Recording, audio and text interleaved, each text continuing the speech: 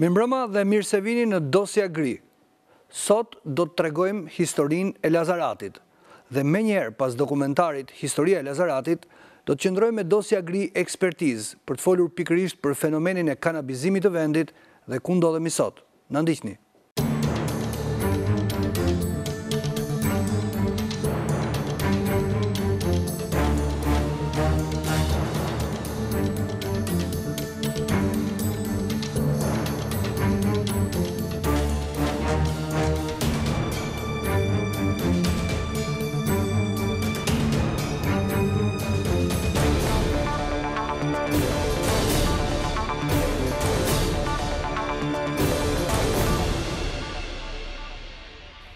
Prej vitesh në vendin tonë njerëzit janë mësuar me ngjarje të kronikës së zezë. Ngjarje të mbuluara me mister, dritëhije, me personazhe famëkeq, me heronj dhe antiheronj. Ngjarje kriminaliteti të rëndomtë apo skema komplekse kriminale, pas të cilave qëndrojnë njerëz të pushtetshëm, narkotrafikantë apo ekzekutues gjakftohtë. ngjarje, të cilat nëse nuk do të ndodhnin para syve tanë, do të ngjanin si të dala nga faqet e një romani noir, apo nga një film thriller. Por ato ndodhin mes nesh. Mu këtu. Ndonjëherë ndodhin para syve tanë.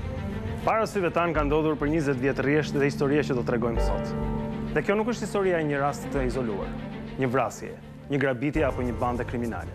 Është historia e një lufte, një lufte të gjatë dhe të lodhshme, e cila mbyllet si çdo histori e madhe lufte. me një hakmarrje të fundit, me një të rënë në fushëbetejë. Kjo është historia e Lazaratit.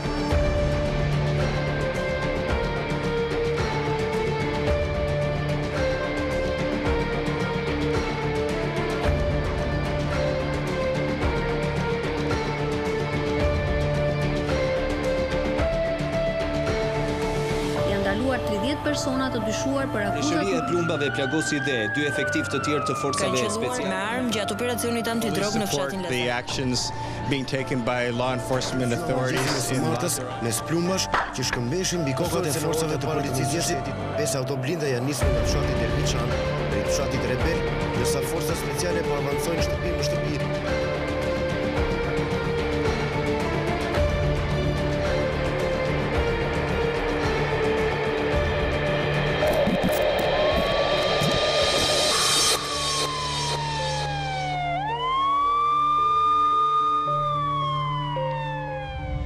Diku rreth datës njëzet e një qershor dy mijë e pesëmbëdhjetë, në Lazarat është parë një grupim personash, kryesisht mosha të reja, të cilët kanë filluar të qëndrojnë bashkë në lokalet kryesore të fshatit. Madje të qëndrojnë deri në orët e vona. Është parë që ka patur shumë lëvizje të dyshimta makinash, dhe sidomos armë zjarri. Dhe në fshat, Ka filluar të qarkullojë një si legjendë se diçka e rëndë pritet të ndodhë.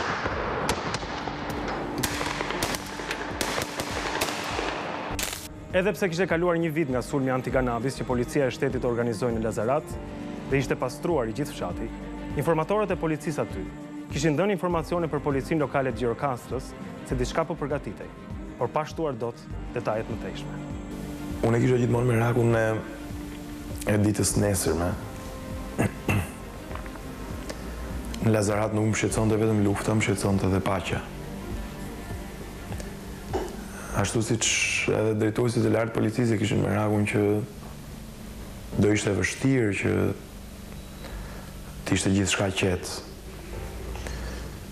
Kjo ishte arsyeja pse ne vendosëm që plani i policisë të zgjatej përtej çdo afati dhe madje edhe përtej çdo mundësie që kishte policia.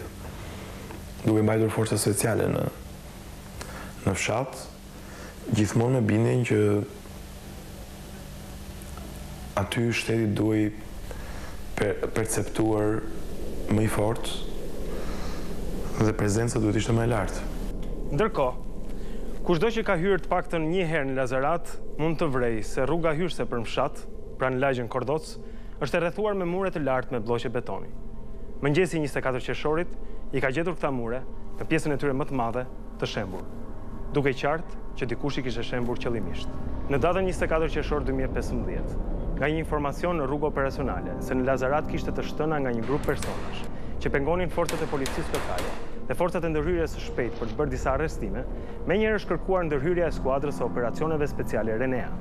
Kishte kohë që në Lazarat nuk kishte një intensitet të tillë të shtënash dhe të breshërive të armëve, kryesisht automatike dhe mitraloz të lehtë.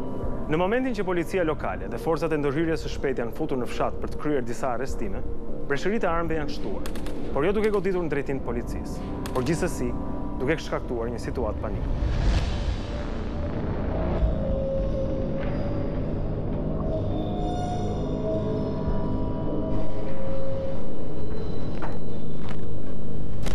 Mbas marrjes së një lajmi që në Lazarat kishte një situatë problematike, Jemi nisur diku nga ora pesë e mjesit dhe kemi mbërritur në tetë pa çerek në drejtorinë e qarkut Gjirokastër. Na kanë dhënë fotografiat e dy-tre personave, të cilët ishin për t'u arrestu. Jemi nisur, domethënë, me katër ose pesë makina, domethënë, domethënë dy nga këto kanë qenë blindat. që i përdoren nga nga reparti jonë. Ne ishim unë, Ibrahimi, Perlati dhe pjesa tjetër e grupit ishim të ishim mrapa, domethënë. Dhe ishim duke ngjitur, duke ngjitur maloren e maloren e Lazaratit, duke ngjitur lart papritmos përballena me sulmin e breshërive të armëve. Në momentin e ngjitjes për në fshat. Pikërisht në pjesën e rrugës ku ishin rrëzuar muret rrethues pak ditë më parë, makina e forcave RENEA gjendet nën sulmin e breshërive të armëve nga të katër anët.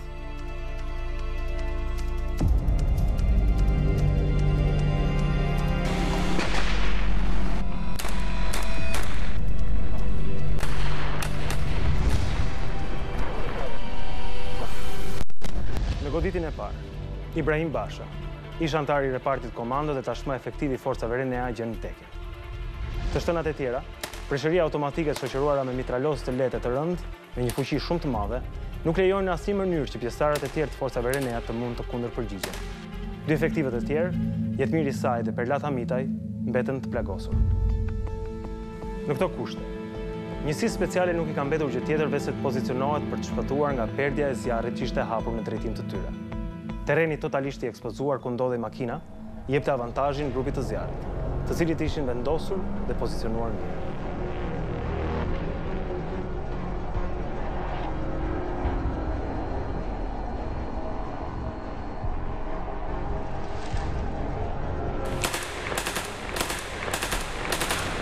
Aty e kena has breshrin e plumave do thon. Ne na vishin nga katër and. Maj mend si shoferi i ka lan gaz makinës më tepër më shpejt. Sepse ishte zon e pa mbulume. Nga gjith drejtimet kishte shtëna. Pastaj maj mend si më ka shkun këmisha fishekut. Aty un kam pa nji sekond se aty ësht fragment sekonde aty kam pa a kam shum gjakderdhje të madhe. Në moment që kanë qenë të shtënat, asnjë gjë s'kam parë. Unë kam parë veç veten time aty në furgon, që ka qenë disa sekonda që nuk e dija se ku isha. Edhe deri në momentin kur kam ec mbas një më të vjetri që ka dalë nga furgoni, kam ec dhe kam drejt në një mur aty, në atë pjesë aty dhe nuk e dinim as nga na vinin breshëritë dhe s'mund normalisht s'mund të qëllonim kot, është normale se s'ke si t'godasësh kundrejt fshatit kot. kur nuk ke një një objektiv apo. Po, unë jam dëmtuar në kokë dhe di që më ka më ka fluturuar edhe helmeta mbrapa. Unë e kam kuptuar veç kur kam hyp në blind, që kanë ardhur blindat nga lart duke që kishim pas edhe të shoqëruar që kanë ardhur poshtë. Na kanë marrë aty, kam hyp në blind, aty e kam parë që Ibrahimi ka qenë që ka qenë i godit. Fakti që grupi i zjarrit ishte i pozicionuar mirë. që sulmi kryhej me një numër të madh armatimesh, tregon se plani ishte i mirëpërcaktuar. Kurioziteti më i madh në këtë ngjarje ishte pse ky grup personash nuk kishte qëlluar policinë lokale apo forcat e ndërhyrjes së shpejtë, por kishin pritur për forcat RENEA, ndoshta për të kryer një hakmarrje të pashembullt për gjithçka që kishte ndodhur në atë vend. Në Lazarat ndodhi ajo fatkeqësi me të ndjerin oficerin e RENEA-s, Ibrahim Basha. Ka qenë Moment shumë i vështirë edhe për mua, po edhe për kolegët e e Ibrahimit, moment akoma më i vështirë për familjen e tij, sepse ishte si një rrufe në qiell të hapur, praktikisht. Policia në atë rast, për një arsye apo për një tjetër, nuk arriti dot të kuptonte që Mund të ekzistonin disa njerëz që donin të merrnin hak për atë që ndodhi. Në fakt, ky ky sulm, edhe nga hetimet që dolën nga përgjimet e telefonatave, rezultoi që ishte një shenjë hakmarrje e një grupi të armatosur, e një grupi me element kriminal brenda këtij fshati, të cilët kishin humbur kishin humbur jetën e tyre përditshme, kishin humbur burimin e parave të tyre, pra makinave luksoze, të armëve që ata kishin marrë, kishin humbur autoritetin që ata kishin patur mbi atë pjesë të territorit të Shqipërisë. Dhe ky sulm ishte një kundërpërgjigje dhe një hakmarrje për atë që kishte ndodhur në Lazarat ose më saktë për atë që i kishin shkaktuar forcat RENEA këtij fshati gjatë dy dekadave të fundit. Por cila ishte zanafilla e kësaj lufte? Përse një komunitet, një fshat i madh me gati katër mijë banorë, u konfliktua për gati dy dekada me policinë e shtetit dhe mbi të gjitha me forcat speciale? Ka qenë një konflikt i gjatë përplasjesh ku përveç personave të arrestuar dhe të plagosur, ka patur edhe një numër viktimash. Gjithçka fillon në vitin një mijë e nëntëqind e nëntëdhjetë e tetë. Kemi një situatë të paqëndrueshme në vend për shkak të ngjarjeve të nëntë e shtatës. Aksi Nacional Gjirokastër-Kakavi, që ishte arteria kryesore tregtare e vendit, u sulmua dhe u vu nën kontroll nga një grup personash të armatosur, kryesisht banorë të Lazaratit. U kërkua ndërhyrja e forcave speciale. Menjëherë, policia ka organizuar të gjitha repartet që ka patur në dispozicion në atë kohë, mbështetur edhe nga policia lokale dhe mjetet e ushtrisë, dhe ka ndërhyrë për ta zhbllokuar këtë aks rrugor. Çdo gjë është vënë nën kontroll pa pasur viktima, edhe pse ka patur shkëmbime zjarri. Po për shkak të një urdhri politik, u kërkua që forcat speciale të ndërhynin në brendësi të fshatit për të zbllokuar kamionët me mallrat e grabitura në kohën që rruga nacionale ishte nën kontrollin e grupit kriminal. Kjo bëri që reparti special të mos kishte mundësi të përpunonte informacionin për të ditur se me kë kishte të bënte dhe çfarë masash duhet të merrte për të hyrë në fshat. Grupi i armatosur në fshat Ka qenë një numër shumë të madh, diku tek njëqind persona. Pozicioni i tyre ka qenë mjaft i mirë. Hapësira që ata kishin kufizuar, po ashtu ka qenë tërësisht, terreni ka qenë tërësisht në favor të tyre.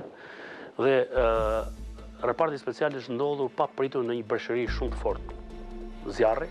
Janë përdorur të gjitha lloje armatimi kundër tyre. Më kujtohet si tani një shprehje Kur kam hyrë në Lazarat disa ditë pasi kishte ndodhur kjo ngjarje, që një pjesë e personave që kishin marrë, që kishin sulmuar forcat speciale, në bisedat me njëri-tjetrin thoshin që ata ia hapën varrin vetes brenda 10 sekondash.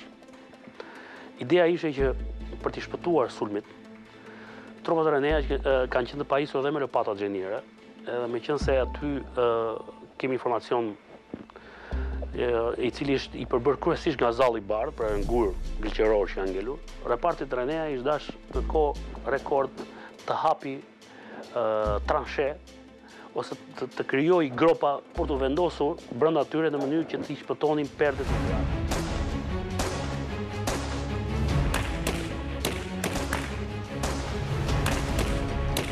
Përplasja ka vazhduar disa orë. Ka patur katër të plagosur nga breshëritë e forta.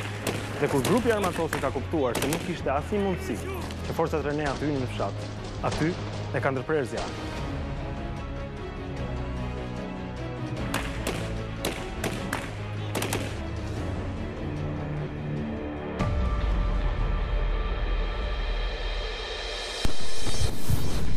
Gjatë veprimeve të kryera nga forcat e policisë për kapjen e autorëve, kanë mbetur të plagosur dy oficerë dhe pesë policë, nga të cilët katër u dërguan për ndihmë mjekësore në Janin, Greqi, ndërsa tre të tjerët ndodhen në spitalin e Gjirokastrës.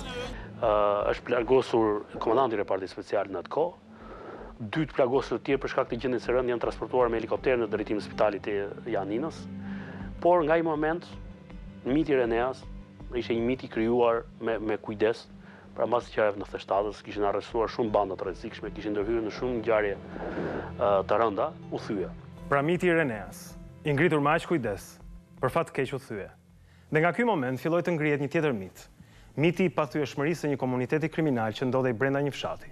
Në këto kushte, Lazarati mori një emër të madh dhe u kthye në një bazë të pothuajse të gjithë personave që kishin probleme me ligjin në Shqipëri. Ky komunitet kishte një motiv të fortë për ta kundërshtuar qeverinë e ardhur në pushtet pas një mijë e nëntëqind e nëntëdhjetë e shtatës.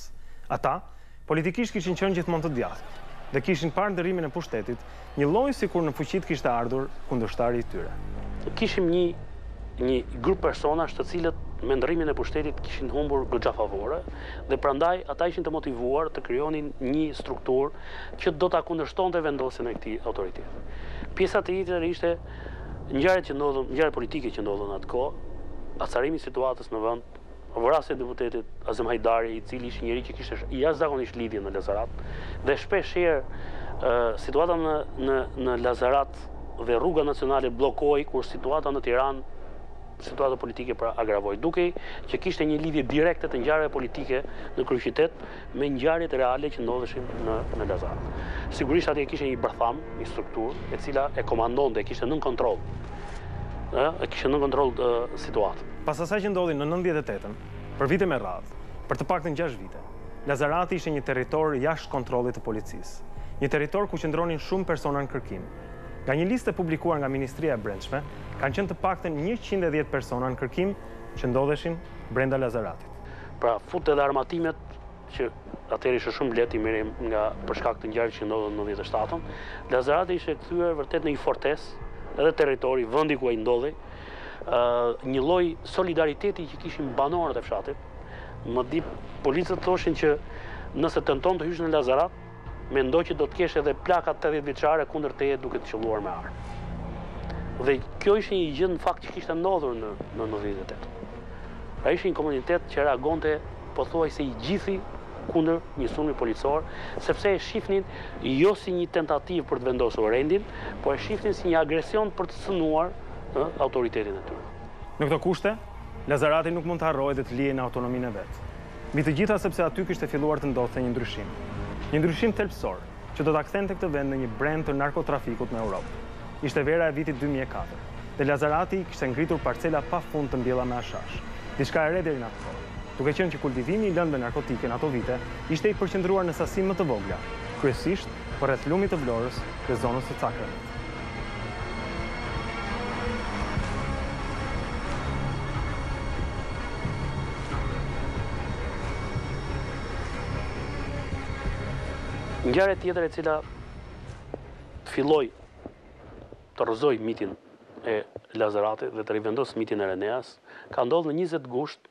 të vitit dy mijë e katër. E kujtoj fare mirë sepse vetëm dy ditë më parë kisha qenë në Lazarat dhe kisha bërë një reportazh i cili ka dalë ditën e ngjarjes, mëngjesin e ngjarjes. Dhe në atë reportazh shkruaj saktësisht. Lazarati është i mbushur plot me hashash. Hashashi është në fazën e pjekjes përfundimtare. Dhe fshati është i organizuar me armatime, me një numër të shumë të madh personash të armatosur, që të mos e lejojë policinë të hyjë dhe ta shkatërrojë këtë sasi të lëndës narkotike. Ndërkohë, në Lazarat ishte krijuar një strukturë drejtuese dhe kontrolluese e këtij aktiviteti kriminal, e cila kishte ndërtuar lidhjet e veta brenda radhëve të policisë por edhe lidhje dhe mbështetje politike. Kjo strukturë përbëhej nga një komision prej shtatë vetësh dhe ky komision drejtohej gjithmonë nga një personazh, i cili mbante lidhjet me pushtetin dhe me politikën.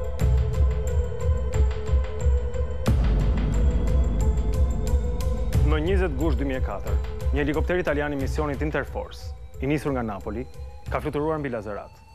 Në ekuipazhin e helikopterit ka qenë prezent dhe një oficere e antidrogës së policisë shqiptare, e cila orientonte pilotët italianë se ku duhet fluturonin për të monitoruar territorin. Në momentin që helikopteri është ngjitur mbi fshat, është qëlluar me armë të rënda, mes tyre dhe me mitralozë kundërajrorë dymbëdhjetë pikë shtatë. Helikopteri është goditur, por për fat të mirë nuk është rrëzuar. Kjo ka çuar në një agravim të situatës, ku është kërkuar ndërhyrja e forcave RENEA dhe e forcave speciale. Ngjarja u shoqërua me bujë në të gjithë mediat ndërkombëtare. Ishte një ngjarje shumë e rëndë, e cila tregonte se çfarë fuqie dhe autoriteti ushtronin grupe kriminale në atë kohë. Në këto kushte, Forcat Speciale nuk e panë të arsyeshme të ndërhynin në momentin e parë, sepse nuk donin që të shkaktonin viktima në njerëz. U vendos që të merrej koha e nevojshme për të realizuar një plan të mirëstudiuar.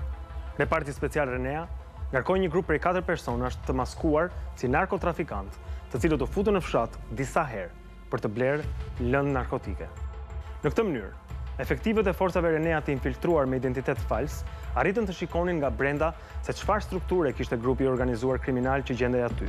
Mundën të shihnin bazat e tyre, vendet ku ata qëndronin, rrugët hyrëse dhe dalëse të fshatit, në mënyrë që të studionin një plan të detajuar për realizimin e misionit. U bë një një plan i parapërgatitur para se me u fut në Lazarat për arrestimin e atij personi me rrezikshmëri të lartë, Ne kishim informacione, disponojshim informacione nga policia vendore që që kishin mbi shtatëdhjetë persona me rrezikshmëri të lartë që ishin të armatosur me lloje të ndryshme të armatimit, që ishin banin patrullime për rujtjen e e plantacioneve të drogës dhe ne mbaj mend që u ulëm dhe bëmë një hartuam një plan për për futjen në Lazarat. Që të futesh në në Lazarat duhet të bëhej një një një plan një rikonicion për të parë vendin se ku do të ndërhysh. Aty një një oficer shumë i përgatitur bani ne në gjuhën në terminologjinë tonë policore e quajmë rikonicion.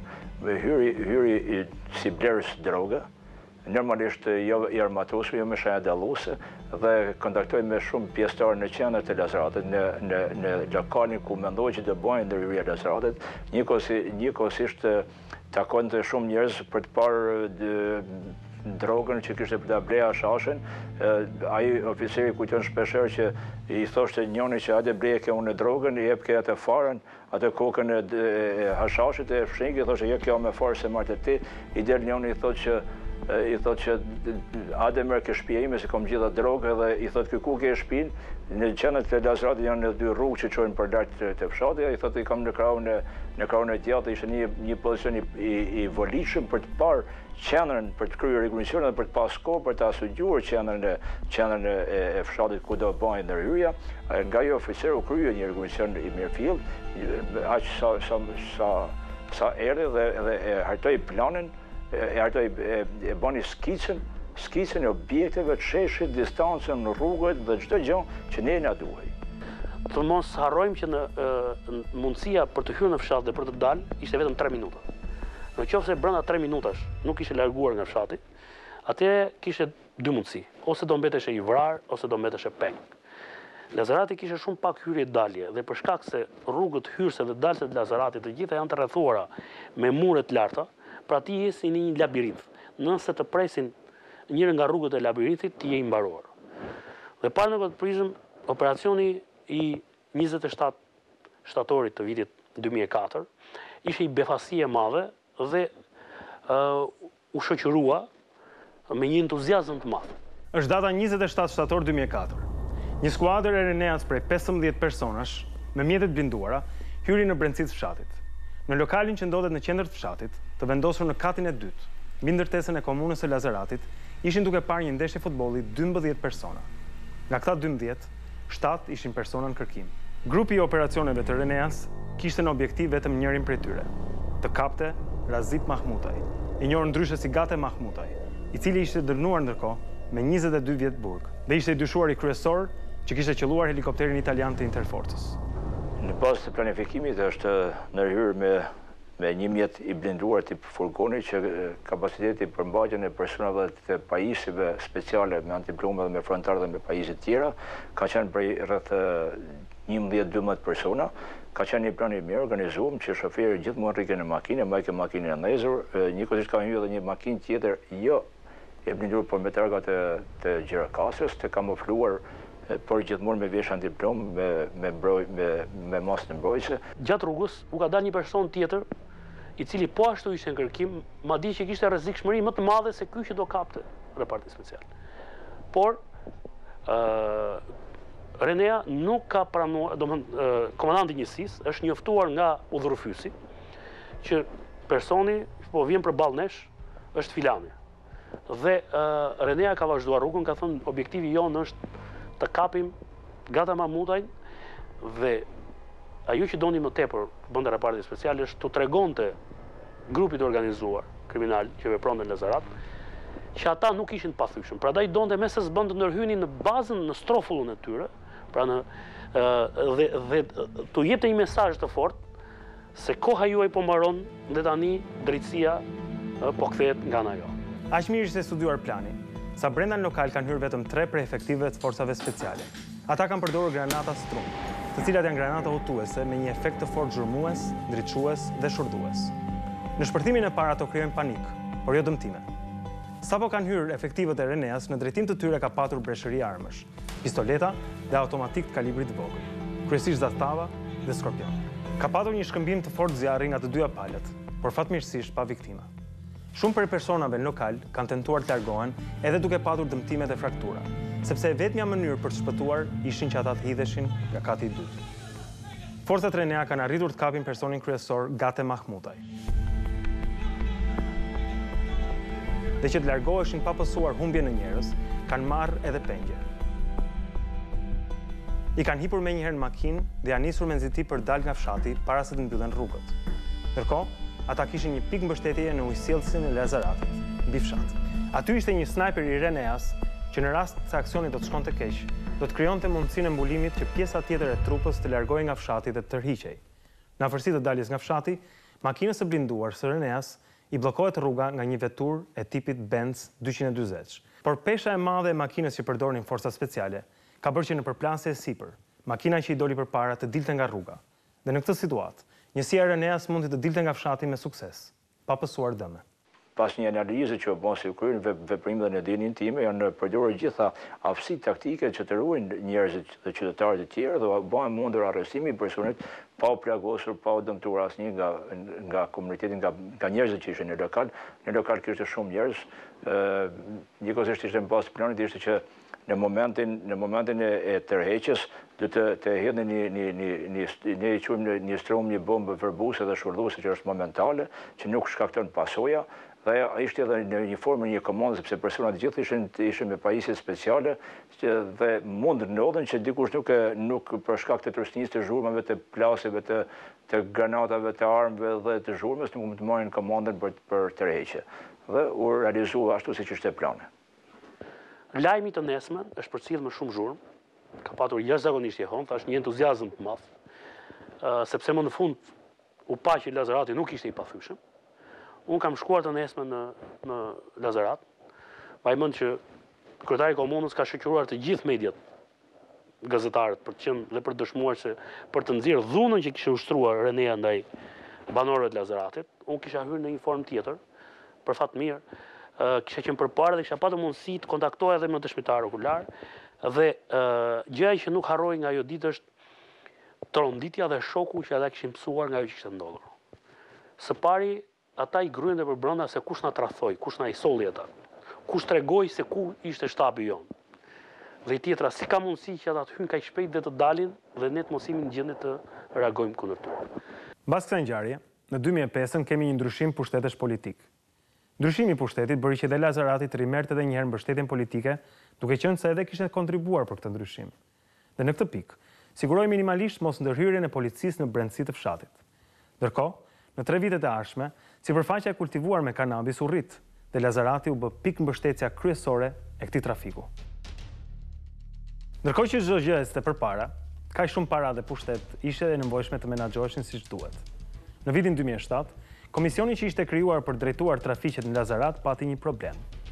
Njëri prej anëtarëve të komisionit, Sabri Shurdhi, u fuqizua së tepërmi, për shkak të moshës së re dhe lidhjeve të shumta që kishte krijuar. Zgjeroi tregun dhe rriti kapitalin e tij disa herë më shumë se anëtarët e tjerë të këtij komisioni dhe për pasojë, përcaktonte ai çmimin bazë të kanabisit, duke e ulur apo ngritur sipas nevojave personale. Në këto kushte, pjesa tjetër duhet të gjente një zgjidhje. Që ta largonin direkt ishte e pamundur, sepse kjo mund të krijonte një përçarje dhe një përplasje. Atëherë, cila mund të ishte zgjidhja? Iu kërkua drejtuesve të lartë të policisë në atë kohë që ta arrestonin personin në fjalë. Por ta arrestonin. Ta mbanin disa muaj brenda, t'i jepnin një mësim të mirë për t'i dhënë të kuptojë që ti je ky që je sepse duam ne. Jemi ne që vendosim autoritetin. Ne mbajmë rendin. Dhe ideja ishte që ky person të nxirrej përkohësisht nga loja, të pagonte edhe një faturë të mirë për të dalë sërish nga burgu dhe për t'u kthyer. Dua të kujtoj që shpeshherë në Lazarat policia në atë kohë jashtë Lazeratit, bënte arrestime të personave nga Lazerati, por çuditërisht asnjëri nga ta nuk dilte në gjykatë sepse pagonin, paguheshin shuma të mëdha dhe ata liroheshin pa shkuar në sallën e gjyqit. Ë, atëherë çfarë ndodhi? Renea mori përsipër ta kryente aksionin, sigurisht pa ditur këtë që unë përmenda pak më parë. Personi në fjalë ishte person shumë i rrezikshëm, ishte person që ishte konfliktuar me armë zjarri dhe herë tjera. Ë, Policia hyri brenda në fshat, sigurisht me maskim, duke tentuar, pra u paraqitën si persona trafikantë që donin të blinin sasi të lëndës narkotike. Kujtoj që efektivi i Reneas që drejtoi aksionin ka qenë personalisht brenda në fshat, ka hyrë në fshat, përpara, ka hyrë si trafikant, ka qëndruar aty, ka parë ambientet, ka parë lëvizjet që kryente personi në fjalë. Personat që ndërhynë në atë operacion ishin të mirëtrajnuar dhe kishin informacionin e duhur se për kë po shkonin për të kryer një arrestim të një personi me rrezikshmëri të lartë shoqërore, që kishte një background të shkuar kriminale janë trajnuar dhe ishte limiti i kufizuar, i kufizuar për shkak të patrullimeve të mëdhaja që bënin dhe dhe kontrolleve të çdo lloj mjeti që hyke në fshatin e Lazratit, u organizuan u caktuan, u caktuan njerëzit më më profesionista, më të qetë për kryerjen e atij operacioni të suksesshëm. Maskimi që oficeri i Reneas kishte përdorur për t'u futur në fshat i kishte dhënë atij mundësinë që të merrte të gjithë informacionin e nevojshëm. Ishte futur në Lazarat si një narkotrafikant dhe kishte patur mundësi të shikonte të gjithë rrugët, lëvizjet, por edhe të gjithë parcelat e mbjella, duke krijuar kështu një hartë të lëvizjeve për misionin e radhës. Paraditen e shtatë shtatorit dy mijë e shtatë, katër efektivë të RENEA-s hyjnë në fshat pa rënë në sy. Është pritur momenti kur personi që ishte objektivi i tyre, Sabri Shurdi, ka dalë nga banesa për të marrë makinën e tij, Në një rrugë afër qendrës së fshatit, i është zënë pritë nga Forcat Speciale. Dy efektivët e RENEA-s janë afruar dhe në momentin që Sabri Shurdi i ka pyetur se pse e kanë bllokuar rrugën, këta janë përgjigjur, Ndal! Policia. Në këtë moment, personi i kërkuar që ka patur automatikun në sediljen e pasagjerit të mbushur dhe me siguresën e hequr, ka qëlluar direkt. Për fat të mirë, një nga plumbat që del nga kallashnikovi vetëm sa e ka fshikur shkarazi njërin nga oficerët e RENEA-s. Menjëherë, ata janë kundrapërgjigjur duke e qëlluar nga të dy anët e makinës. E kanë qëlluar në gjoks dhe në kokë. duke e lënë të vdekur agresorin.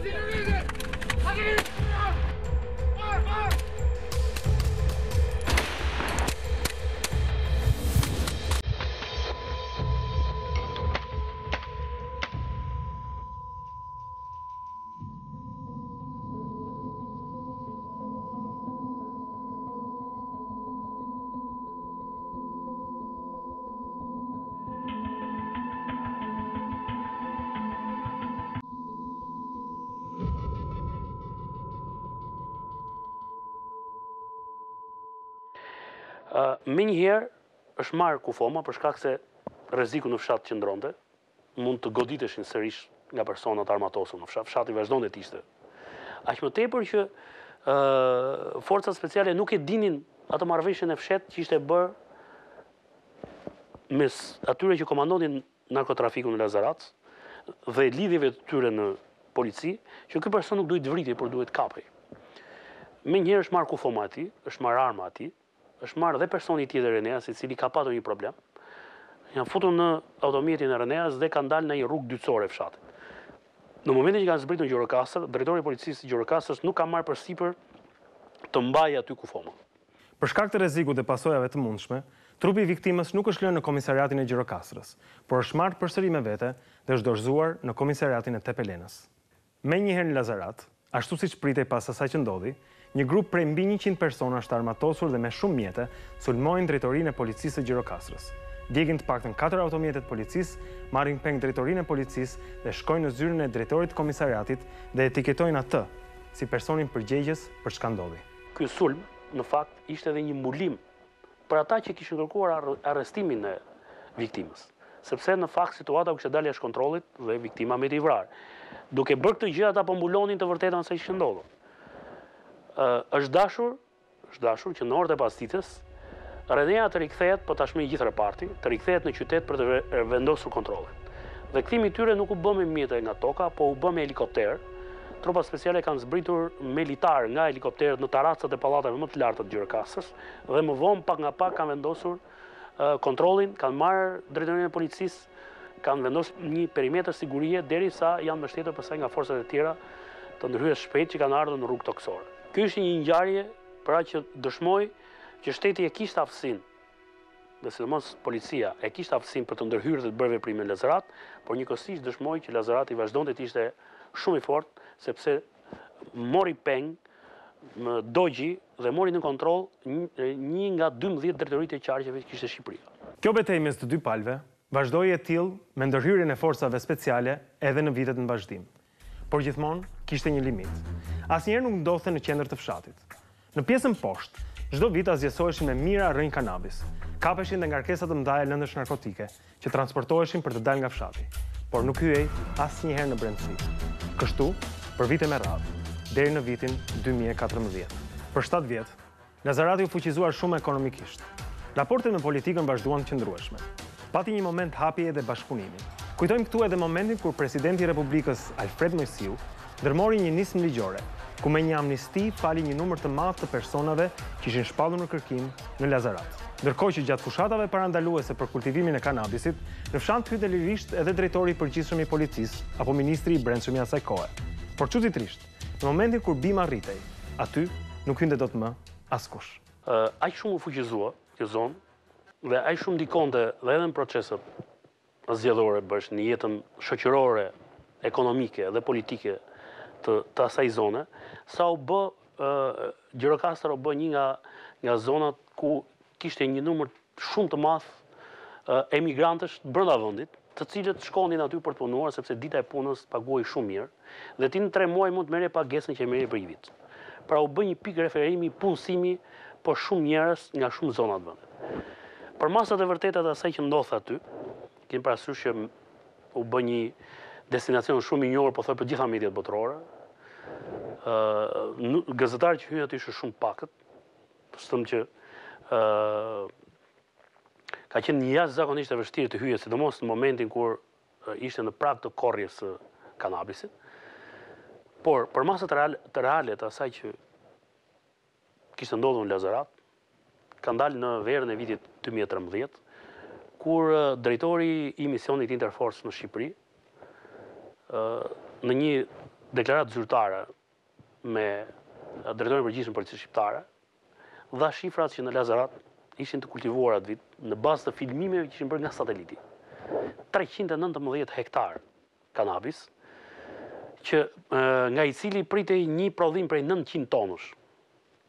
Dhe nëse kjo sasi do të shitej në tregun evropian, Të ardhurat e narkotrafikantëve shkonin në katër pikë pesë miliardë euro. Kjo dëshmonte për masat e vërteta dhe fuqinë e vërtetë që kishin arritur grupet kriminale. Një pjesë e madhe e parave të fituara ishin investuar në pjesën tjetër të vendit, sidomos në objekte sociale, në lokale, në hotele, në resorte, në bregdet, sidomos në zonën e bregdetit dhe në lokale në kryeqytet. Sidomos në pjesën vjeshtë dimër, pothuaj pjesa më e madhe e pubeve kryesore të kryeqytetit dhe lokaleve luksoze merreshin me qira nga persona të tillë që bënin dhe pastrimin e parave që ata kishin xhiruar. Para në këtë prizëm dilte e domosdoshme, edhe me ndryshimin e pushtetit në dy mijë e trembëdhjetë, që duhet të kishte një ndërhyrje përfundimtare në Lazarat. Këtë tashmë e kërkonin dhe ishte një kusht i vendosur edhe nga faktori ndërkombëtar, që shteti shqiptar Duhet ta realizonte patjetër. Lazarati ishte një ngarkesë jo e vogël në kurriz të të gjithëve, jo vetëm në momentin kur morëm ne detyrën, po praktikisht ishte një gjë e zgjatur që na rrinte të gjithëve mbi kokë, pavarësisht se kush ishte në pushtet. ishte e pashmangshme të ishe ministri i brendshëm dhe të mos e vije re që diku në një territor ti nuk kishe autoritetin e shtetit. Ashtu siç ishte e pashmangshme të vije re që në detyrën e ministrit të brendshëm ose jo në Lazarat ishte një kërpudhë e madhe e e botës së krimit që merrej kryesisht me kultivimin dhe trafikimin e drogës.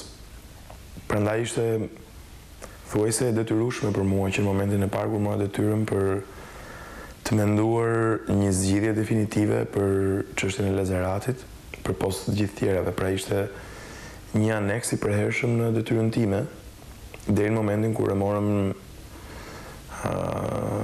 iniciativën për për të ekzekutuar një plan që e menduam gjatë. Më katërmbëdhjetë qershor dy mijë e katërmbëdhjetë ka nisur aksioni për rrethimin e Lazaratit. Të gjithë potencialet që kishte policia shqiptare, mjete të blinduara, helikopterë, etj, bashkë me mbështetjen logjistike të ushtrisë, u vunë në dispozicion të këtij operacioni. Ka patur një betejë, e cila ka zgjatur për pesë ditë rresht. Këto pesë ditë, ka patur shkëmbim të ashpër zjarri, por edhe persona të plagosur. Megjithëse, forcat speciale mundoheshin të mos shkaktonin viktima në njerëz. U kapën dhe u vunë nën kontroll pikat strategjike. Snajperat brenda fshatit shkëmbenin zjarr me snajperat e RENEA-s. Objektivi i operacionit ishte t'i jepej fund njëherë e mirë Lazaratit. Pra, ky territor të mos ishte më një zonë jashtë kontrollit të autoritetit të shtetit shqiptar. Të rrëzohej miti i Republikës së Pavarur të Lazaratit. Në atë pikë nuk kishte më asnjë motiv të prisnim. Gjatë gjithë natës u bë përgatitja e trupave, transporti i gjithë punonjësve të policisë, kanë qenë mbi tetëqind punonjës policie, pra ishte sipërmarrje jo e vogël për ne. Dhe të nesërmen Lazarati u gdhi i rrethuar praktikisht. Ne ishim shumë të vendosur, Që në Lazarat mos kishim asnjë humbje jete nga qytetarët e pafajshëm. Pra ne realisht donim të shkonim deri në fund, por këtë donim ta bënim me kosto zero nga qytetarët. Ishte fati ynë i madh që edhe media na ndihmoi për transmetuar minutë pas minute gjithçka ndodhte gjithçka ndodhte atje. duke e shtuar mbështetjen për policinë, po duke i dhënë edhe atyre brenda në Lazarat një mundësi të kuptonin që nuk ishin më në errësirë. Ditën e pestë, pasi operacioni mbaroi dhe pasi s'kishte më asnjë problem as për policinë, as për qytetarët, unë e pashë të udhës të shkoja vetë në Lazarat, për mua ishte edhe kuriozitet personal i vogël. Ishte dhe kënaqësi të takoja të gjithë punonjësit e policisë që në fakt sakrifikuan jo pak ato ditë, po dhe qytetarët. Ishte unë s'e fsheh dot që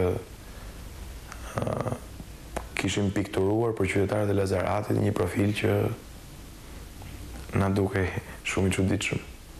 Atëherë operacioni final i katërmbëdhjetë qershorit të vitit dy mijë e katërmbëdhjetë, me përqendrimin që pati policia, me befasinë që krijoi në fshat, ishte një numër shumë i madh personash në kërkim që u gjendën brenda fshatit, të cilët nuk ishin thjesht nga Lazarat, ishin nga gjithë nga gjithë zonat e Shqipërisë, persona që kishin kultivuar në fshat, që kishin lëndë narkotike. Në fshat ndërkohë kishte magazina të mëdha me kanabis i cili Ishte kultivuar në vitet e mëparshme dhe gjatë operacionit u panë përmasat e vërteta. Për pesë ditë Renea ka përparuar me, me metra, me metra, në çdo orë përparoi me disa metra për t'iu afruar që në fshat. Ndërkohë nga brenda fshatit komuniteti mbahej peng në mënyrë që Renea të mos dhe forcat e tjera policore të mos ndërhynin dhe të godisnin direkt personat ose grupet kriminale, se tashmë ishin bërë disa grupe, nuk ishim më, kishim një organizatë të madhe dhe disa grupe. Dhe gjatë kësaj kohe u tentua të bëhej një marrëveshje që grupi i personave të armatosur të lejohej të largohej nga fshati gjatë orëve të natës, pra të lihej një shteg i lirë, dhe po ashtu ata të kishin mundësi të nxirrnin sasinë e madhe kesh të valutës që ndodhej brenda. Ishin me miliona euro kesh dhe me qindra milion lek të depozituara në fshat. Të de, de, depozituara në, në tunele, në fuçi, në enë plastike të groposura në tokë, që ndodheshin brenda fshatit. Ndo, uh, u gjetën me një sasi uh, narkotike e thatë, pra e ambalazhuar për t'u trafikuar, uh, që i kalonte 100 tonë. Përveç sasisë që ishte e mbjellë, ishte një sasi jashtëzakonisht e madhe, diku tek mbi 500 mijë rrënjë që ishin të mbjellë aty. Jehona e atij operacioni ishte jashtëzakonisht e madhe, sigurisht gjatë përfundimit të operacionit një pjesë e madhe e personave që ishin aty ishin larguar. Dhe kjo, mendoj unë, ishte një kosto që të merrej fshati, u lejua kjo gjë për mos shkaktuar viktima. Sigurisht, ajo që duhet të ndodhte më vonë, Duhet të ishte arrestimi i të gjithë bosëve të drogës në Lazarat, gjë e cila nuk ndodhi. U shoqëruan dhe u arrestuan mbi 120 persona, kapën persona që kishin luajtur role të rëndësishme, po ishin role dytësore. Miti i Republikës së Lazaratit Ra. Dhe gjatë kontrollit që u bë, gjatë hyrjes së forcave RENEA, u zbuluan tre laboratorë të prodhimit të vajit të kanabisit. U zbulua dhe një laborator i heroinës dhe kokainës. Pra, në këto vite Lazarati ishte shndërruar në një bazë të të gjitha llojeve të narkotikëve. Me vrasjen e Ibrahim Bashës ka qenë një ngjarje e rëndë. Unë atë ditë kam qenë në jam ndodhur në aeroportin e Rinasit për të ikur jashtë shtetit. Lajmin e kam dhënë i pari, jam njoftuar shpejt nga Gjirokastra për atë që ka ndodhur. Jam futur në linjë direkte, duke treguar atë që kishte ndodhur, sepse kisha informacion nga brenda fshatit, pothuajse të detajuar, por kujtoj fare mirë që sapo kam mbyllur telefonin, telefonata e parë më ka ardhur nga ish pjesëtarë të repartit të RENEA. Mes tyre, ka qenë shefi i shtabit të këtij reparti, Erzen Breçani, që më ka kërkuar që të shkojmë në Gjirokastër, unë i kam thënë që nuk duhet të shkosh se s'ka nevojë aty ka trupa, ka, ne, nuk ka prezencë policore, më ka thënë që ka të plagosur dhe ata kanë nevojë për gjak. Dhe unë jam me një grup personash të tjerë, ish pjesëtarë të atij reparti, që duam të shkojmë atje dhe të ndihmojmë, të japim gjak, të shpëtojmë ata që mund të shpëtojmë. Pavarësisht se ishin marrë masat, pavarësisht se policia ishte në një regjim gatishmëri në Lazarat edhe pas një viti, pavarësisht se vëmendja e drejtuesve të policisë ishte aty, ai ishte një rast tërësisht fatkeq, që do kisha uruar shumë mos ndodhte mua, si ministër në detyrë. Do kisha uruar shumë të mos ndodhte fare. Unë e përjetova shumë edhe sepse ishte rasti i parë që në detyrë humbte jetën nji punonjës policie dhe e mbaj mend që ka qenë një moment i i i vështirë. Ëh. Por ky operacion pati një problem. Dhe problemi ishte që kjo ngjarje nuk u shoqërua me arrestimin e bosëve të Lazaratit, të cilëve iu prish baza, iu prish strofulla e tyre, iu prish nga të zinjtë, siç ata i quanin forcat speciale, dhe në momentin që u mendua që gjithçka mori fund, ndodhi vrasja e parë e një dëshmori të forcave speciale në Lazarat, vrasja e Ibrahim Bashës.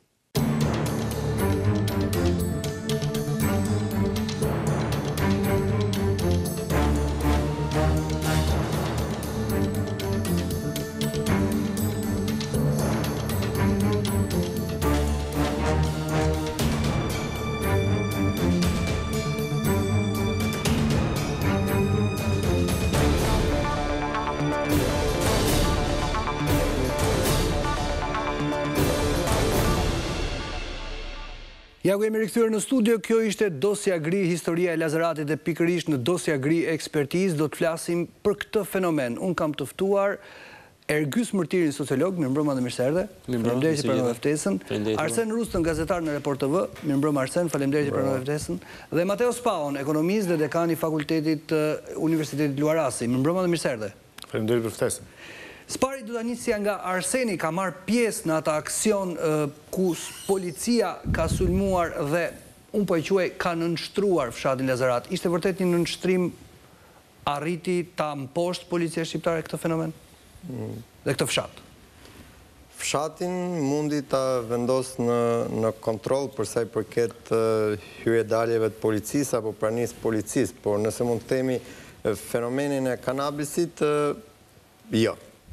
Duke e goditur aty u përhap ngado ose ndoshta mediatizimi i Lazaratit dhe futja e kamerave në mënyrë publike për herë të parë pas më shumë se sa dy dekadave tregoi që Lazarati ishte kudo.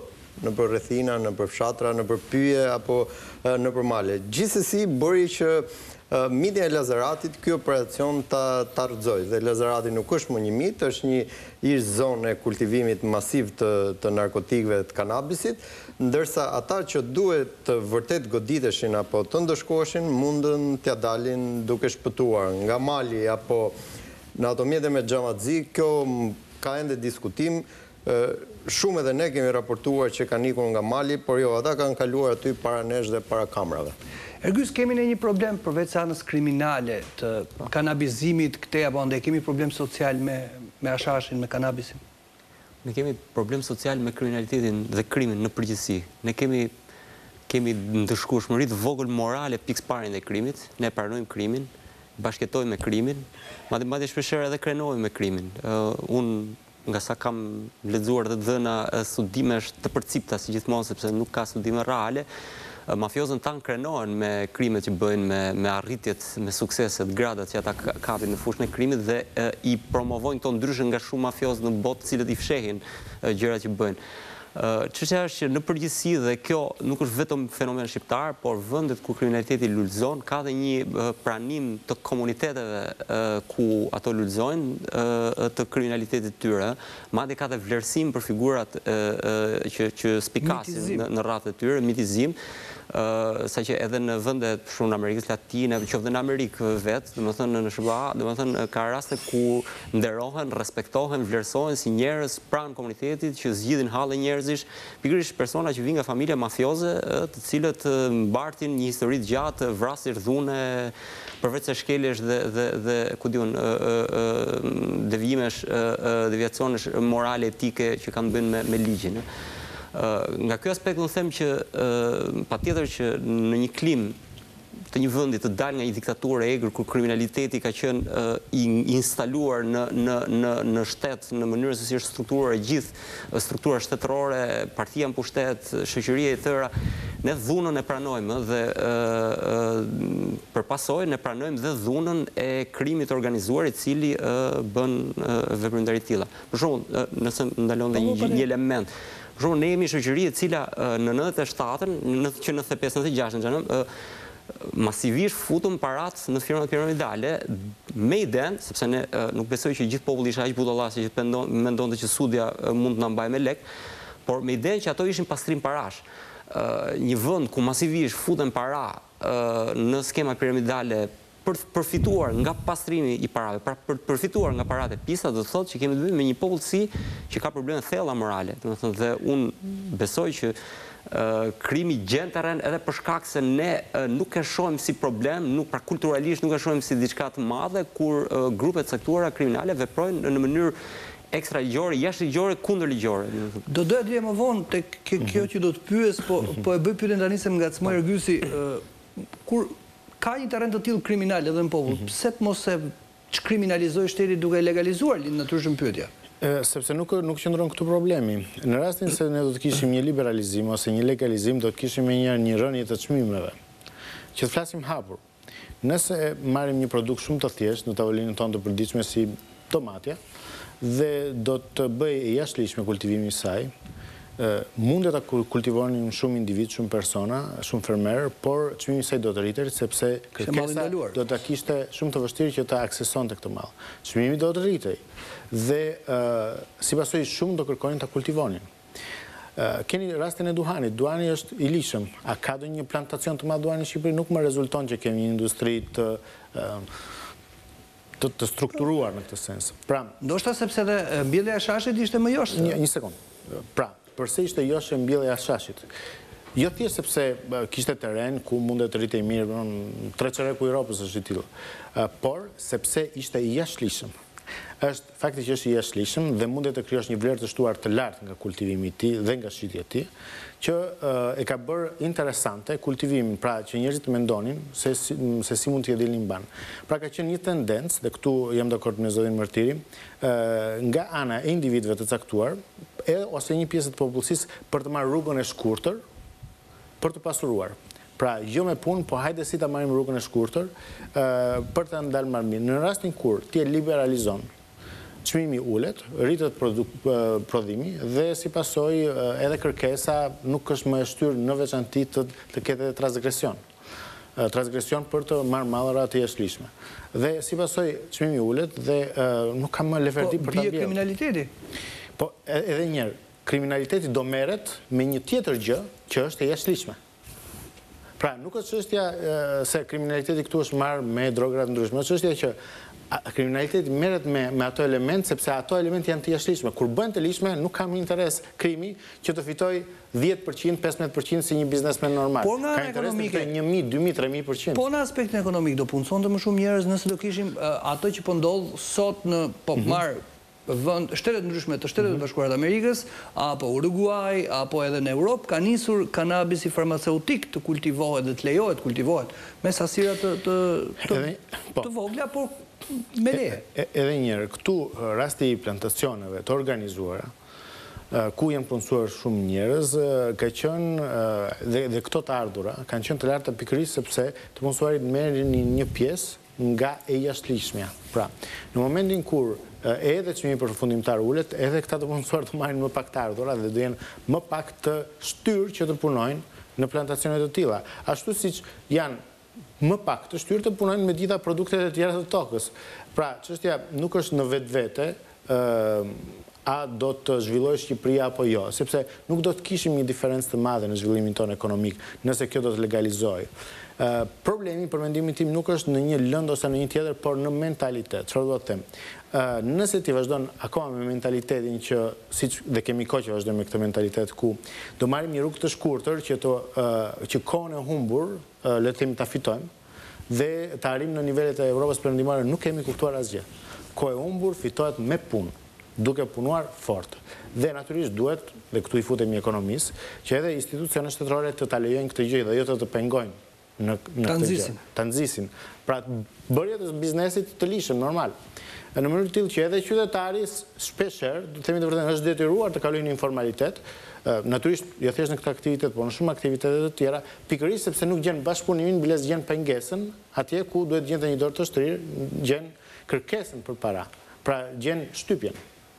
Dhe pra kjo është çështja e përgjithshme, pra kanabisi ose të gjitha format e drogës, janë kultivuar në Shqipëri sepse është menduar që me këtë sistem mundet të bëhen shumë para dhe mundet që të fitohet koha e humbur në raport me vendet e tjera dhe të sjellin një mirëqenie të lartë.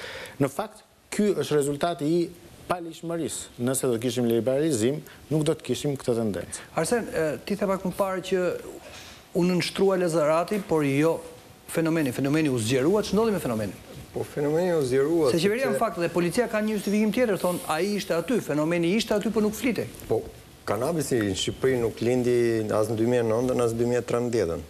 Të paktën historia tregon që fillesat i ka nëntë e katër, nëntë e gjashtë, nga aktiviteti kriminal apo trafikimi, kultivimi për përdorim dhe trafikim nëntë e katër, nëntë e gjashtë. Më para ka qenë hashashi në Shqipëri Edhe si qetësues nëpër familjet e shqiptarëve, por. Dhe si çaj, konsumohej. Si çaj. Unë do doja të ndërhyja pak vetëm ke diçka, jo se jam ekspert apo njohës i ekonomisë, po të paktën ato që ne kemi raportuar pas hekurave, pas kangjellave, arrestimet, procedimet, dënimet, janë vetëm punëtorë të cilët kanë punuar për rrogën.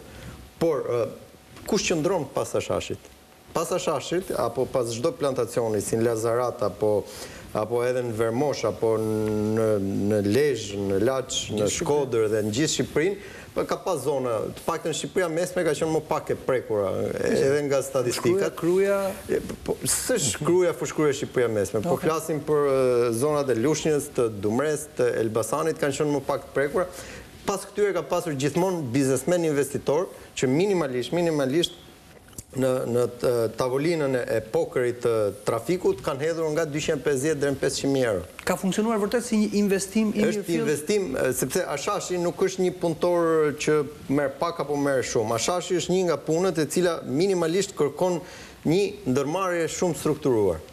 Ka orare vaditje, ka orare plehërimi, fara ka pjesën e vet, ka ekspertë, ka njerëz biologë që duhet të marrin vesh shumë mirë, Nuk janë njerëz të pashkollë ata që merren me hashashin. Që prashit vadit është fundorja, por për të arrit ke ke hashashi zgjidhet edhe toka.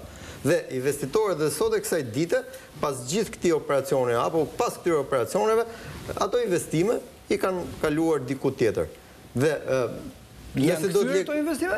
Një pjesë e madhe janë kthyer. Nëse do të legalizohej hashashi, do ta ulte apo do ta ngrinte fitimin e ekonomisë. Unë këtë s'mund ta them, po arsyeja pse unë mendoj që nuk ndodh dhe nuk mund të pranohet nga institucionet shqiptare, jo se përdorimi mjekësor do të ishte i keq, shumë njerëz edhe me sëmundje të rënda Po themi edhe ato tumoralet në Shqipëri e gjejnë në mënyrë ilegale një mijë e pesëqind, dy mijë vajin e hashashit për t'ia dhënë edhe t'afërmve për të qetësuar dhimbjet, por është mungesa e kontrollit ndaj territorit që institucionet publike kanë, përfshi bashkitë, komunat apo njësitë administrative, policia dhe shumë institucione tjera që e pamundësojnë këtë. Sepse për pak mungesë kontrolli ose nëse mund të themi për një vetëpranim në heshtje të institucioneve shtetërore shpërtheu. Por nëse bëhet edhe palë ky investim? Do do duhet të presim, por të paktën duhet që historia e gjithë e gjithçka ka ndodhur, po edhe këtij dokumentari mos të na kthehet në pësim. jemi në një fazë ku të paktën fara e kanabisit ndoshta për katër ose pesë ditë duhet të dali në terren. Duhet të mbijë. Duhet të mbillet, jo të mbijë. Ah, të mbillet, okay. Sepse fara është mbjellur, fara është bërë fidan. Mhm. A në kubikë të vegjël. Për katër apo pesë ditë, ndoshta edhe java, duhet të dali në terren. Dhe këtu grupet kriminale fatkeqësisht janë riaktivizuar prapë edhe për shkak të situatës politike dhe angazhimit të policisë e cila maksimalisht prej gjashtëmbëdhjetë shkurtit nuk e di çfarë të bëjë. T'i hedhë gaz lotsjedhës protestuesve apo të kontrollojë territorin. Zoti Mërtiri, është një problem social e quajta unë pak më parë, po është edhe çështje E një lloj me frikë do them këtë, mentaliteti kriminal që ne mund ta kemi genetikisht, pse ndodh, pse kaq e lehtë me ne të të të na shtyjnë si popull drejt të tilla të tilla fenomeneve. Unë këto mundova të them, domethënë që unë nuk besoj ke genetika kulturore, domethënë jo nuk besoj, po e quaj teori të pa pa domethënë jo shkencore jo të vërtetuar këtë teori se ka njerëz që i ndajnë dhe kështu popujt por çështja është këtu që historia jonë ka qenë histori e mbushur me domethënë një farë mënyre arma ka qenë instrument i rëndësishëm në në në prodhimin e historisë tonë si popull dhe natyrisht që një popull i i mësuar të vrasë është i prirur për të qenë i orientuar edhe drejt veprimtarive të tilla kriminale, në mungesë të një lloj, të themi, zhvillimi të kulturës së zbatimit të ligjit, të, të, të mbrojtjes së institucioneve etj etj. Lazarati është një, një histori mirëfillti e mungesës së funksionimit të institucioneve shtetërore. Ë, unë nuk besoj që, ë, sigurisht Po edhe kultura tolerancës, jo ekziston, mungesës së funksionimit, po pra, sa edhe domethënë unë e thash tolerimit. pak, ë, Gjirokastër kultura ka e, funksionuar, e, e, Gjirokastër ka po, funksionuar, kjo, Lazarat, Nuk ka dash me shku. Kjo është çështja që unë besoj që as Tirana nuk ka funksionuar sepse në qoftë se do funksiononte në Tiranë nuk mund të mos funksiononte në periferi. Domethënë gjërat, pra sistemi cerebral nga truri deri tek gjymtyrët, pra duhet të jetë i plotë. Nëse ka një gjymtyrë që nuk funksionon, problemi është në sistemin cerebral që i përgjigjet gjymtyrës përkatëse, nëse funksionon metafora. Domethënë Çështja është këtu që nuk mund të ekzistojë një veprimtari kriminale nëse ka nuk ka një polici që korruptohet. Ne dimë të gjithë për shembull që sot pihet hashash rrugëve të Tiranës. Unë kaloj rrugëve dhe e ndesh, ja ndjej aromën për natë kur shkoj të dal. Sapo bie errësira e ndjen. Patjetër. Dhe më fal, nuk mendoj shpesh herë nuk kanë hundë policët që sillen vërdallë pikërisht. Nuk kanë ç'të bëjnë sepse Kodi Penal ia lejon konsumimin. Jo, jo, absolutisht që po, por siç Siç konsumatori shkon e gjen drogën, ashtu mund ta gjejë dhe polici, pra mundet të ndjekë të njëjtat linja për të shkuar tek ai që e shet. Domethënë nuk është, nuk po them të kapin atë që e pi, por. Dhe tek ai që e shet, kur shkon polici gjen dy cigare, i cili ka marzhin e dënimit jo më shumë sesa tre muaj, dhe investimi për të shkuar deri atje, minimalisht të shkon një mijë e pesëqind euro, sepse të duhet përgjim, survejim, vëzhgim Por nuk fiton, është. Jo, jo, fiton, qoftë se ti ndjek, ndjek atë që e sheh, ndjek, pra ndjek gjithë zinxhirin e kompleton të gjithë, pra çfarë policia për çfarë paguhet, nuk, nuk. I kishin ata, të gjithë këta i kishin Lazarat. I lejuan të ikin. Gjithë këta i kishin Shkodër. I lejuan të ikin. Po thonë të njëjtën gjë. Po këtë po them pra, domethënë po them që nuk ka vullnet për t'u kapur, domethënë nëse ka vullnet, Pra nuk po fajësoj policin e thjeshtë, po fajësoj ata që drejtojnë, organizojnë, pra dhe që përgjigjen në mënyrë të drejtpërdrejtë për themi kapjen dhe neutralizimin e veprimtarive të tilla. Për shembull Lazarat mhm. u kap i gjithë, pra Lazarat ça u bë, u sekuestrua aq para sa u gjetën dhe aq mall, pra kanabis që u gjet dhe u ekzekutua apo u dogj.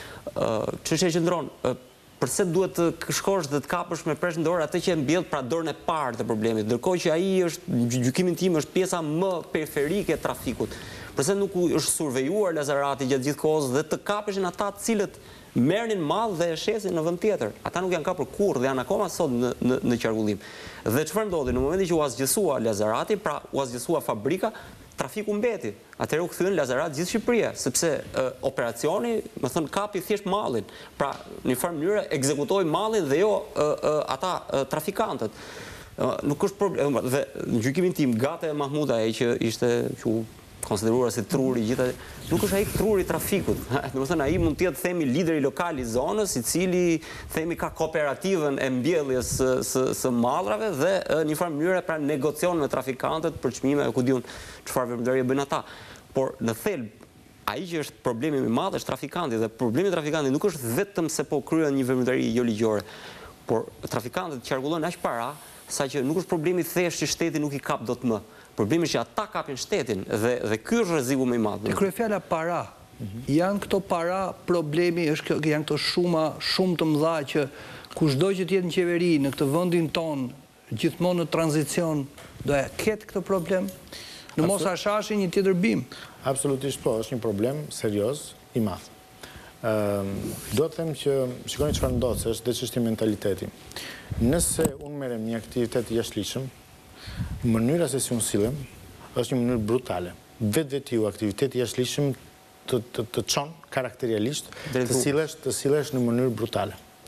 Nëse unë këto para i transferoj nga të ardhurat nga droga në hapje lokalesh, ndërtime pallatesh dhe në ekonomi formale ose të formalizuar, sjellja ime vijon dhe mbetet ajo.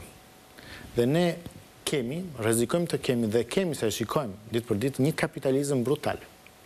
Pra ne jo vetëm kemi lejuar që këto para të grumbullohen, por duke lejuar që këto para të investohen, kemi krijuar edhe figurën e një biznesmeni të fortë, negativ, lac dhe edhe ata shqiptarë dhe kujdes sepse lidhet me historinë tonë. Edhe biles Ky nga biznesmen është shndërruar edhe në politikan në disa raste. Akoma më keq. Pra vetë nuk është se e financon më politikanët, bëhet vetë politikan. Pra, rreziku i madh është që ne kemi një shoqëri në dorë dhe në kontroll të këtyre personave. Një vend të tërë nën kontroll të këtyre personave, një vend i kapur. Dhe çfarë ndodh? Ne kemi një të kaluar pesëdhjetë vjeçare që nuk e pranonte pronën private. Dhe këta persona rrezikojnë që të ndotin aq shumë edhe ekonominë e tregut në Shqipëri sa njerëzit të rikërkojnë edhe një herë pushtete të dëmshme, por që në raport me këta individë mund dhe të duken gati gati të mirë. Ky ky është rreziku më i madh. Se ku do të shkojë Shqipëria? Vetëm pas pak, pas një reklame të shkurtër. Ja ku jemi rikthyer në studio pas kësaj hapësire të shkurtër reklamash. Do ta vijojmë bisedën pikërisht tek ku do të shkojmë pas Lazaratit, me Ergys Mërtirin. Po. Në në vijim të të një gjykim nga aspekti ekonomik, duhet të kuptojmë që kjo para e madhe që mblidhet, e cila përbën dhe një pjesë të konsiderueshme të GDP-së të vendit, do dojë që të hidhet në aktivitet, sepse kjo është para e pisët e mbledhur stok në mënyrë kriminale dhe ajo do duhet pra një aktivitet tjetër shtesë që është aktiviteti për pastrimin e kësaj paraje. Dhe kjo pastaj kthehet në problem mjaft mjaft të madh sepse për pastrimin e kësaj paraje do të thotë që kjo para të investohet.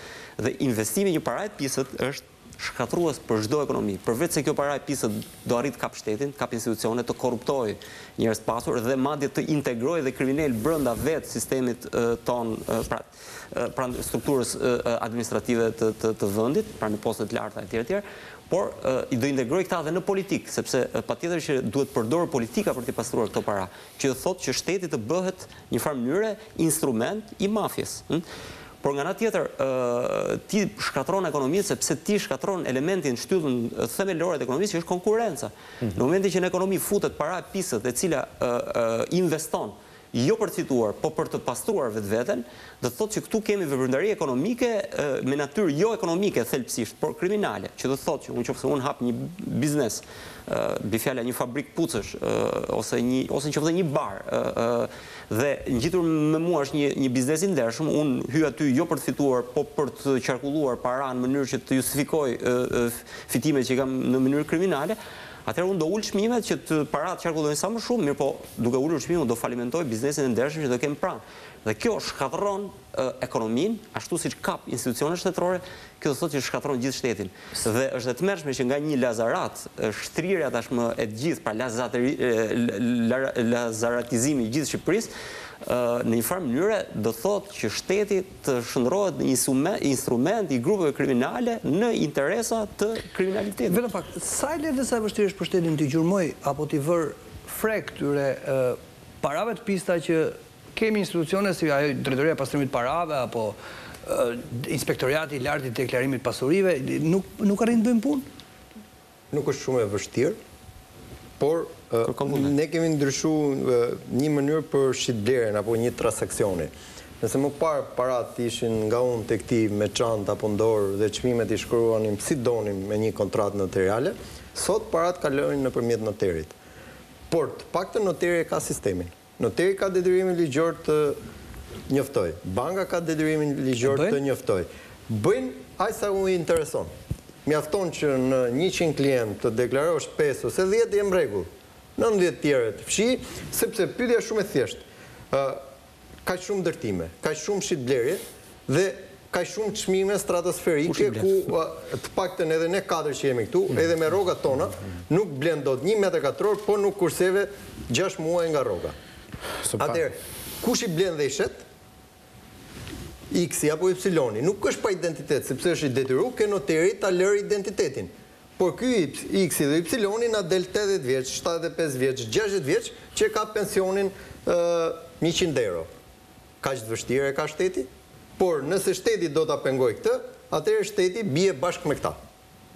Dhe në këtë mënyrë, siç bëri sy mbyll dhe vesh, domethënë sy qor dhe vesh shurdhër me Lazaratin e më pas kanabizimin, sot po e bëjnë me ato ingranazhe ku kjo para është futur si graso.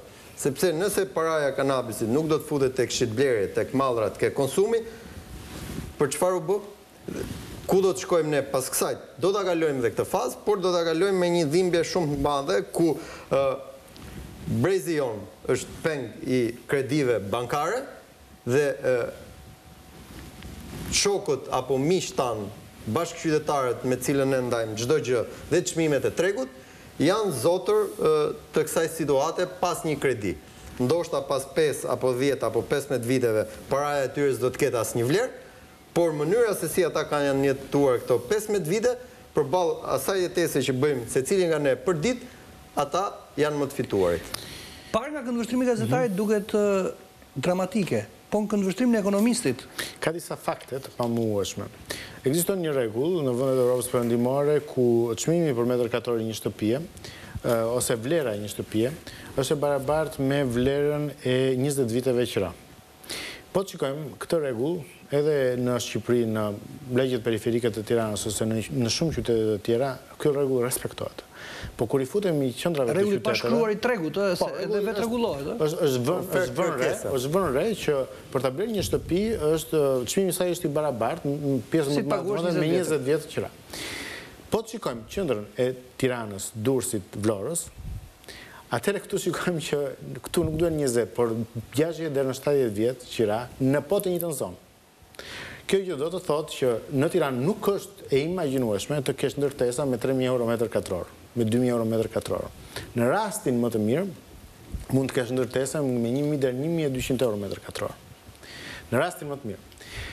Nga zonat. Pra kjo gjë, kjo diferencë ka dy arsye. Një korrupsioni qeveritar, tenderat tipikisht, dhe ndodh dhe në disa vende të tjera që kemi këtë luhatje, dhe elementi tjetër siç ne e dimë mirë, trafiket dhe konkretisht droga. Pra, është qartazi e dukshme në ekonomi për ata që duan ta shohin kjo gjë. Por nga elementi tjetër më lejoni të them një gjë për sa i përket Lazaratit. Ndërhyrjet që të jenë efikase, përtej faktorit polici nuk jam ekspert i fushës, duhet që të shoqërohen me një paketë ekonomike. Çfarë dua të them? Ata tre mijë e kusur banorë që banonin në Lazarat dhe nga një ditë në tjetër le të themi u mohohet çfarë bënin përpara, Duhet të kenë një alternativë. Që u ishte lejuar nga shteti, ajo që bënin, se duhet thënë. Se këtu e ka detyrimin, jo, këtu e ka detyrimin shteti, them. Po pra, s'po them të kundërtën. Tani, duhet dhënë një alternativë. Ndërkohë që po të shikosh në Lazarat sot, fshati nuk ka më banorë. Tetëdhjetë e ca për qind të popullsisë ka ikur nga Lazarati. Dhe jo vetëm, por nuk ke as edhe një lloj investim nga ana e shtetit ose një inkurajim për privat nga ana e shtetit për të hapur një aktivitet prodhues ose një aktivitet në, pra për të thënë që shikoni, ishte e gabuar kjo gjë, por gjithsesi ju mundet të jetoni dhe të mbijetoni gjithsesi në fshatin tuaj me aktivitete ekonomike të ndershme, kjo gjë nuk u bë. Në asnjë sens dhe në asnjë mënyrë.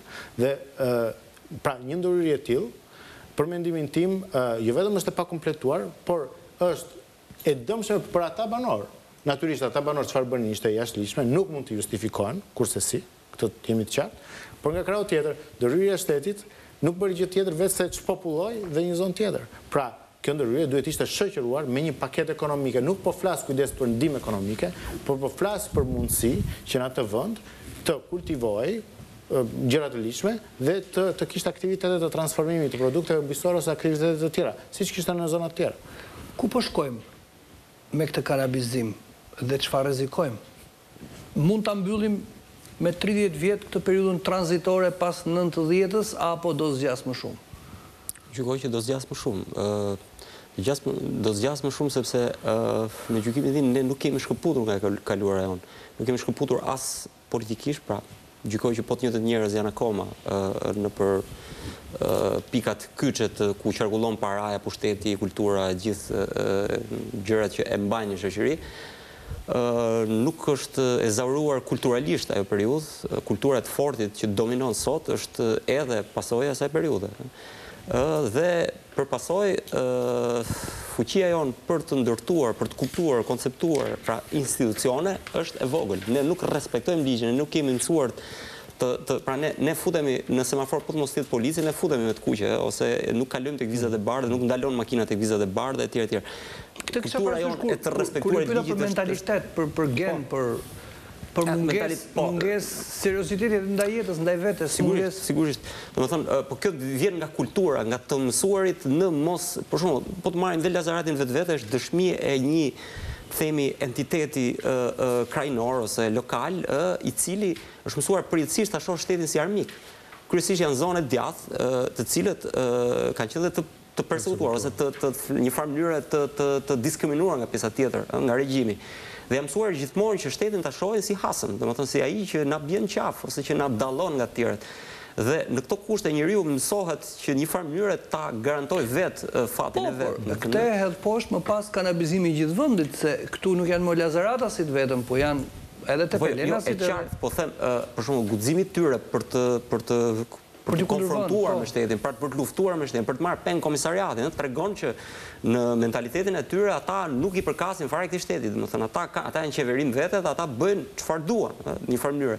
Ata guxojnë dhe të godasin ëh, trupat italiane ku që inspektojnë zonën, ëh, domethënë në një farë mënyre pra kjo ashpërsia, dhuna ëh, ëh, me të cilën shqiptarët janë mësuar vazhdimisht, i bën këta që të ndihen si diçka e veçuar dhe një farë mënyre e shohin shtetin si gjithmonë si si një një armik dhe pretendojnë që edhe mund ta rivalizojnë dhe ia dalin tek e fundit ë domethënë dhe kjo nuk është pak. Ka sot Arsen të tillë lazaratas në Shqipëri? Do doja të vetëm ndërhyja pak vërtet është qëlluar helikopteri i patrullës italiane së bashku me policinë shqiptare por Nuk e ka qëlluar komuniteti i Lazaratit.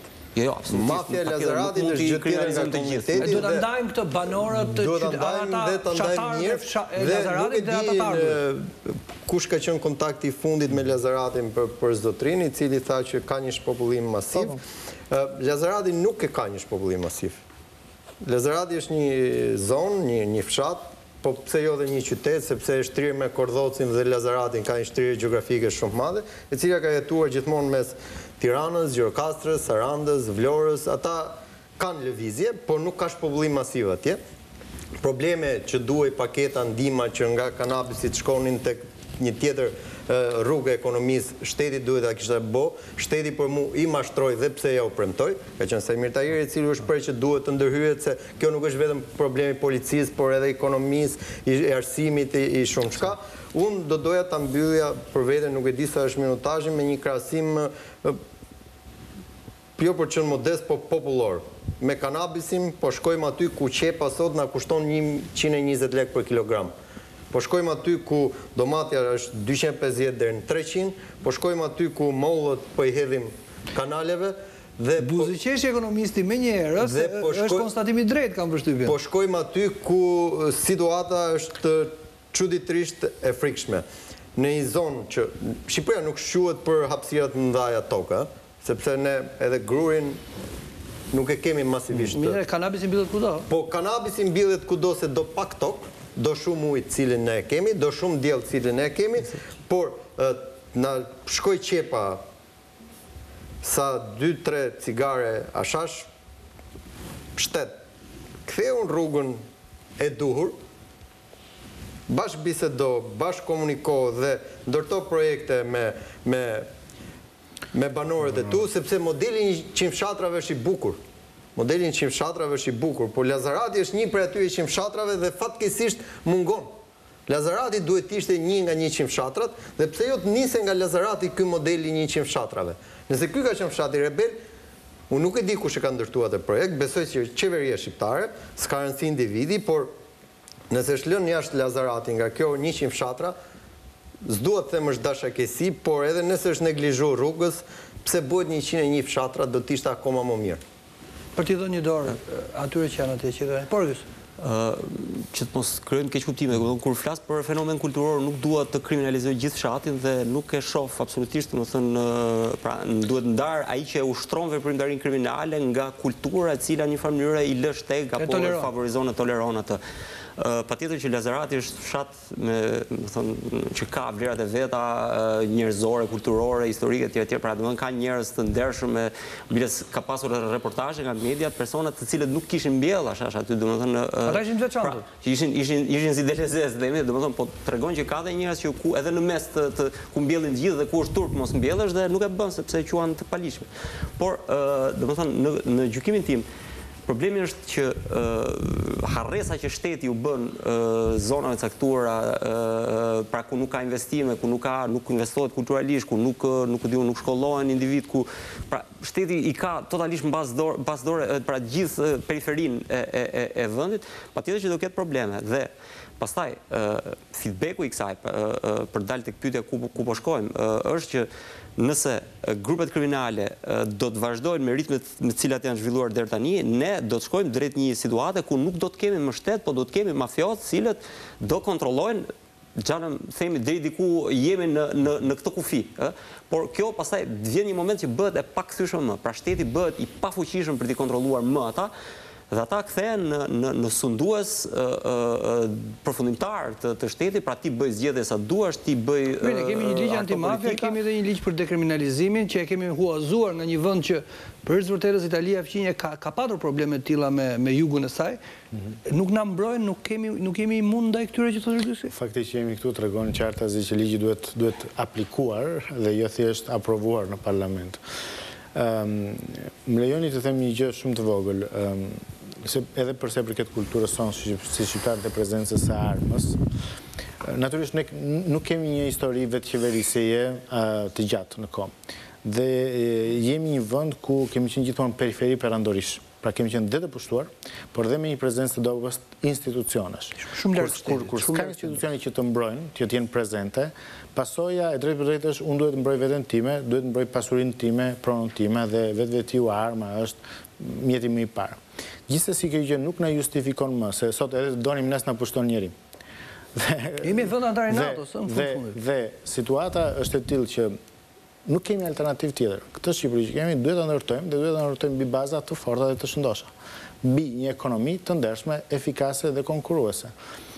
Të gjitha këto rrugët e shkurtra, ë, kemi, në këto tridhjetë vjet kemi eksperimentuar shumë rrugë të shkurtra. Biles edhe, edhe pesëdhjetë vjet përpara, industrializimi i forcuar doli në asgjë. Ë, firmat piramidale, asgjë. Lojërat e fatit, e njëjta gjë. Ë, kanabisi, e njëjta gjë.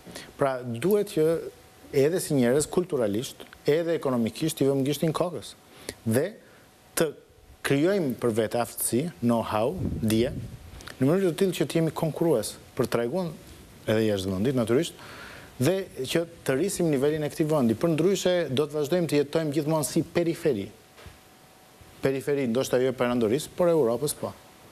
Arsen, e nisa me ty, do ta mbyll me ty, ka nisur të mbillet, më the, ka ka inspektime në terren, ka policia vëmendje apo vërtet janë protestat apo ato fluturimet e famshme nga ajri?